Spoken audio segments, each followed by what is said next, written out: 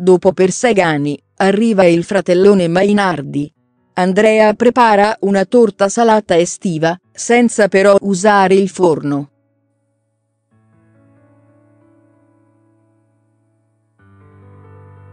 Ecco la torta di provola affumicata. Ingredienti Procedimento Prendiamo uno stampo a ciambella antiaderente, che è meglio coprire con la pellicola alimentare.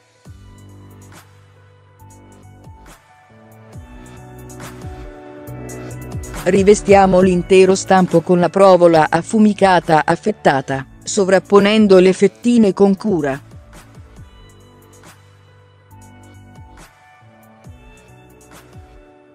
Meglio non tenere la provola in frigo. In questo modo sarà più morbida e aderirà meglio allo stampo.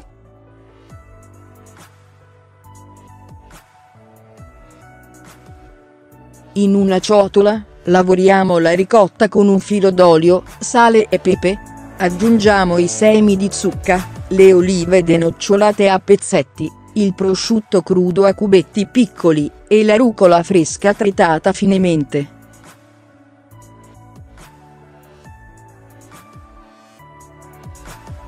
Mescoliamo il tutto per bene. Trasferiamo la farcitura di ricotta all'interno dello stampo rivestito con la provola.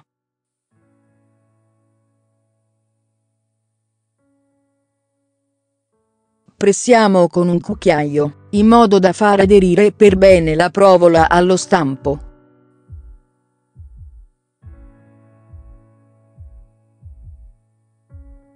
Copriamo con altre fettine di provola affumicata.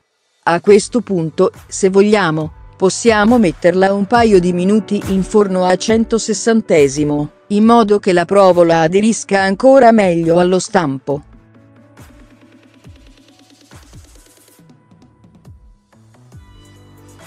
Poi facciamo riposare in frigorifero qualche ora, prima di servirla. Sformiamo e serviamo a fette con una salsa e delle bruschette.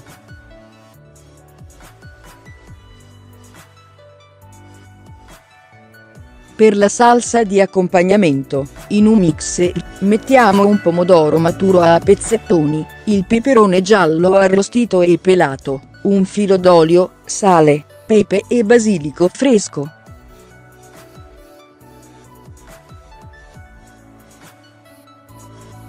Frulliamo, fino ad ottenere un composto liscio.